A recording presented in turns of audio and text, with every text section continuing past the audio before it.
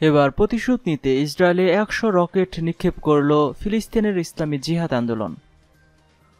অবরুদ্ধ গাজা উপত্যকায় ইহুদিবাদী ইসরায়েল সেনাদের পাশবিক বিমান হামলার প্রতিশোধ নিতে ইসরায়েলের অভিমুখে অন্তত একশো রকেট নিক্ষেপ করেছে ইসলামী জিহাদ আন্দোলন।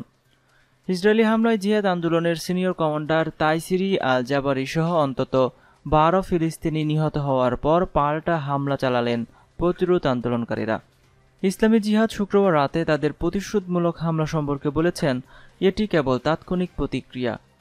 জিহাদ আন্দোলনের সামরিক শাখা আল কুদস ব্রিগেড একটি বিবৃতিতে বলেছে, সিনিয়র কমান্ডার তাইসিরি আল জাবারির বিরোচিত শাহাদতের তাৎক্ষণিক প্রতিক্রিয়ায় আল কুদস ব্রিগেড, রাজধানী তেল আবিব সহ ইসরায়েলিদের মধ্যস্থলীয় বিভিন্ন শহর এবং গাজা সংলগ্ন এলাকাগুলোতে একশোটিরও বেশি রকেট নিক্ষেপ করেছে। ইসলামী জিহাদ আন্দোলনের মহাসচিব জিয়াদ আন নাখালা হুশের উচ্চারণ করে বলেছেন, শুক্রবারের আগ্রাসনের পর ইহুদিবাদী ইসরায়েলকে অবিরাম সংঘাতের মুখোমুখি হতে হবে।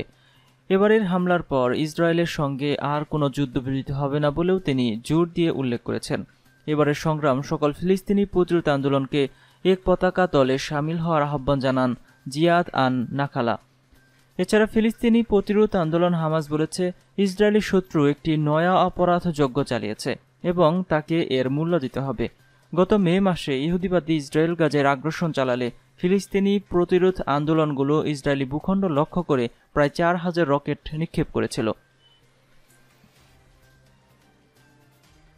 আজকের মতো এ পর্যন্তই ছিল। ভিডিওটি সম্পর্কে আপনাদের মতামত অবশ্যই কমেন্ট বক্সে কমেন্ট করে জানাবেন।